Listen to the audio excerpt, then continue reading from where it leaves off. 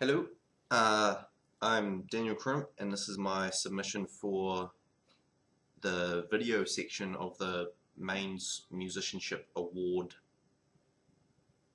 competition. Ooh, not visible there. Hello. Um, this is an instrumental piece I've written on the guitar. Um, it initially had lyrics to it, but I removed them because I felt like the song told its own story in the sense of the music. And this is the first real, I suppose you'd say, complex piece that I've written. The rest of them have just been chord progressions, and this one's, oh, as you can see, I've got the capo on half the guitar there.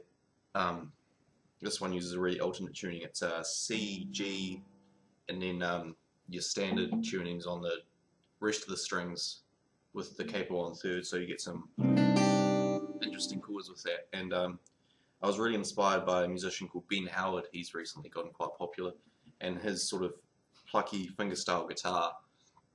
Um, and John Gomm, Dome, I'm not sure. He he made that song Passion Flower, which went viral on YouTube a few years back. Um, they've just really inspired me with this song, which I've called Old Leaf. I sort of wrote it about.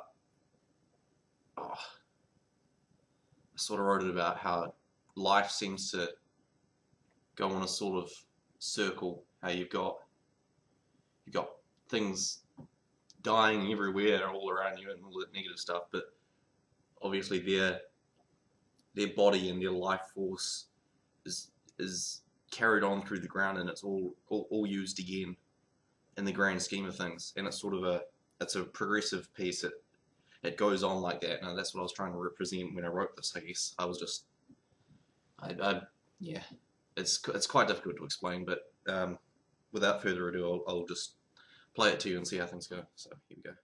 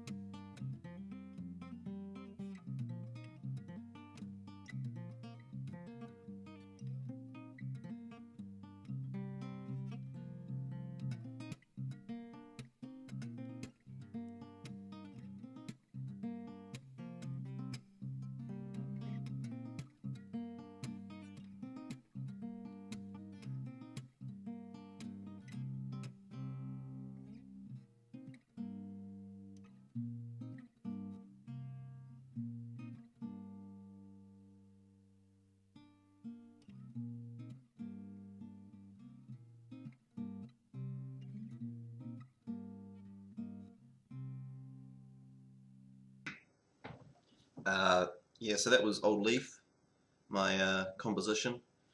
Um, hope you enjoyed listening to it. I I put a lot of heart and soul into that song. I guess it's the it's the first really serious song I've ever written, in the sense of finding my own sound as a guitarist, because I've always been the singer songwriter, the jack of all trades. So um, that was an interesting song to write. It was a real big change for me. So I hope you enjoyed it. Um, that was my entry. So uh, I guess that'll be me. See you later.